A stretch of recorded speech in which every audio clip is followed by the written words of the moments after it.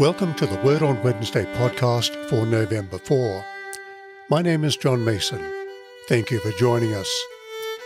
The Word on Wednesday is a short midweek ministry to comfort and strengthen hearts and minds from the Scriptures. It would be great to have your subscription to receive the weekly updates. Now, as we begin today's reflection, Catherine Jacob will bring us a Bible reading. A reading from the Gospel of St. Matthew, chapter 5, verses 3 through 12. Blessed are the poor in spirit, for theirs is the kingdom of heaven. Blessed are those who mourn, for they will be comforted. Blessed are the meek, for they will inherit the earth. Blessed are those who hunger and thirst for righteousness, for they will be filled. Blessed are the merciful, for they will receive mercy. Blessed are the pure in heart, for they will see God. Blessed are the peacemakers, for they will be called children of God. Blessed are those who are persecuted for righteousness' sake, for theirs is the kingdom of heaven. Blessed are you when people revile you and persecute you and utter all kinds of evil against you falsely on my account. Rejoice and be glad, for your reward is great in heaven. For in the same way they persecuted the prophets who were before you. This is the word of the Lord. Thanks be to God. In his book, Have No Fear, Dr. John Lennox, Emeritus Professor of Mathematics, Oxford University, comments The pressure to silence the public witness of Christians is very real. Indeed, in many parts of the world, the secular and religious opposition has intensified to the extent that, particularly in the West, the dominant attitude is that religion is a private business and should be kept that way. As a result, many Christians have been effectively silenced. They may well continue to go to church, but their witness has long ceased because of fear and pressure. There's nothing new in this. Eight years ago, Dr. Angela Merkel, the German Chancellor, observed that Christians are the most persecuted religion in the world. Yet for the most part, the Western world remains either ignorant or silent implying either a desire not to get involved or a disinterest in matters of justice towards Christians. And yet, just last week, three people attending a church in Nice, France, were killed for their Christian association. Furthermore, if we look beyond the Western news outlets, we learn of ongoing cruelty perpetrated against God's people by Islamist extremists in Nigeria and in the Central Africa Republic. Many of Jesus' early followers suffered persecution and death for their commitment to him as the Messiah. Indeed, under Nero, such were the atrocities perpetrated against God's people that, according to the Roman historian Tacitus, even many in the wider Roman society took pity on them. And Tacitus was no supporter of Christians. Persecution can take many forms. There's the more obvious form of physical hardship, torture, imprisonment, death. But there are more subtle forms mocking, cynicism, personal rejection. Jesus anticipated the opposition and persecution his followers would experience. He not only warned them of it, but he said, interestingly, Blessed are those who are persecuted for righteousness' sake, for theirs is the kingdom of heaven. Blessed are you when people revile you and persecute you and utter all kinds of evil against you falsely on my account. Rejoice and be glad, for your reward is great in heaven. For in the same way they persecuted the prophets who were before you. This double beatitude forms the conclusion of Jesus' Beatitudes or eight blessings that we read in Matthew chapter 5. What a note on which to finish. Suffering and persecution. Indeed, we might feel uneasy, for in one way they are the most searching of all the Beatitudes. If we never experience some kind of mocking or rejection for our faith, just how much of a follower are we? Now it's important to notice what Jesus is not saying. He is not saying, Blessed are those who are persecuted because they are difficult or awkward people, or because they are religious fanatics.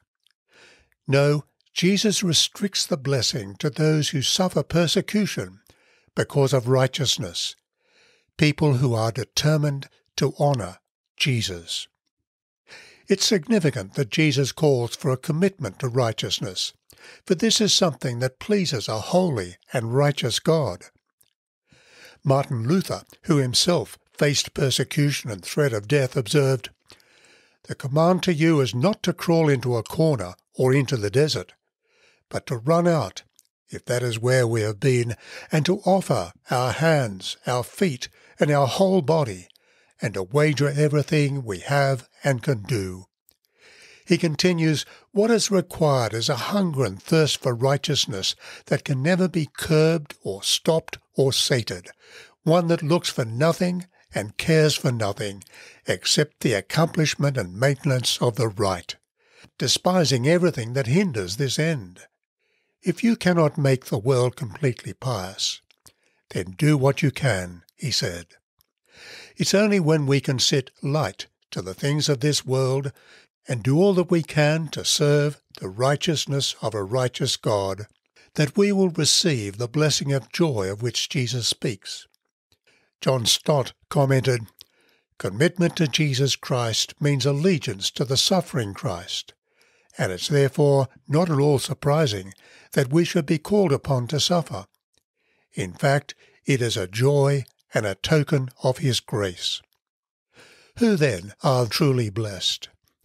In his Beatitudes, Jesus is saying that he expects his followers to undergo radical changes. Instead of feeling proud of your relationship with God, understand your spiritual bankruptcy, he says. Instead of being indifferent towards unbelievers, mourn for a world that rejects the reality of a transcendent, righteous God. Be prepared to walk the path of humility and service. Hunger for truth and righteousness. Show mercy. Pursue purity. Work for peace. Reckon on the reality that life won't always be easy for you as one of my people, Jesus is saying. But stay with me it will be worth every bit of it. Towards the end of his book, Have No Fear, one of the questions John Lennox asks is this What do you really think a Christian is? It means being a follower of Jesus as Lord, and that means being prepared to do as he says. One of those things is to go into all the world and share the message that has been shared with you. You may have heard the oft told story of Winston Churchill's speech at his old school when he was at the height of his powers. One account reports that he pulled the proverbial cigar from his mouth and said, Boys, never give up. Never, ever give up. Despite potential opposition, we should never give up honouring the Lord Jesus in our lives. Nor should we stop praying nor should we stop using opportunities to introduce others to Him. Blessed are those who are persecuted for righteousness' sake, for theirs is the kingdom of heaven. We praise you, Heavenly Father, that you join together all your people in one communion and fellowship in the mystical body of your Son, Christ our Lord Give us grace so to follow your blessed saints in all virtuous and godly living, that we may come to those inexpressible joys that you have prepared for those who love you, through Jesus Christ our Lord. Amen. Catherine Jacob will now lead us in the Lord's Prayer. Our Father in heaven, hallowed be your name. Your kingdom come your will be done on earth as in heaven. Give us today our daily bread. Forgive us our sins as we forgive those who sin against us. Lead us not into temptation, but deliver us from evil. For the kingdom, the power, and the glory are yours, now and forever. Amen. Andrew Pearson will now lead us in further prayer. A prayer for all in authority. Almighty God, the fountain of all goodness, we humbly pray you to bless all who hold positions of authority and public office in every land, so that all things, especially in these uncertain times, may be ordered in wisdom, righteousness, and peace, to the honor of your holy name and the good of your church and people, through Jesus Christ our Lord. Amen. A prayer for everyone in need. O God, creator and preserver of all people, we humbly pray for all sorts and conditions of men and women, that you would be pleased to make your way known to them, your saving power among all nations. We commend to your fatherly goodness all who are in any way afflicted or distressed, with any kind of sickness or sorrow, anxiety or need. Lord, we particularly pray for your comfort for those who are grieved by the loss of loved ones at this time. We pray for the ongoing research into a vaccine and cure for COVID 19. We also pray for the many who are out of work. Give wisdom and compassion to leaders, enabling them to facilitate an effective economic recovery, and so provide opportunity for work for everyone. Lord, we also pray for those who are in physical, mental, or emotional danger at this time. Father, may it please you to comfort and relieve them according to their needs giving them patience in their sufferings, and a happy issue out of all their afflictions. All this we ask for the sake of Jesus Christ our Lord. Amen. The grace of our Lord Jesus Christ and the love of God and the fellowship of the Holy Spirit be with us all evermore. Amen. Lord God, you know us to be set in the midst of so many great dangers that by reason of the frailty of our nature we cannot always stand upright.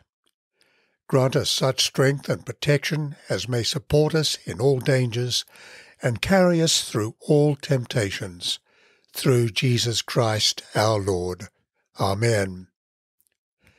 And now may the peace of God, which passes all understanding, keep your hearts and minds in the knowledge and love of God, and of His Son, Jesus Christ our Lord.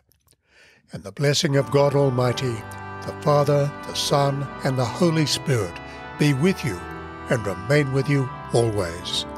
Amen.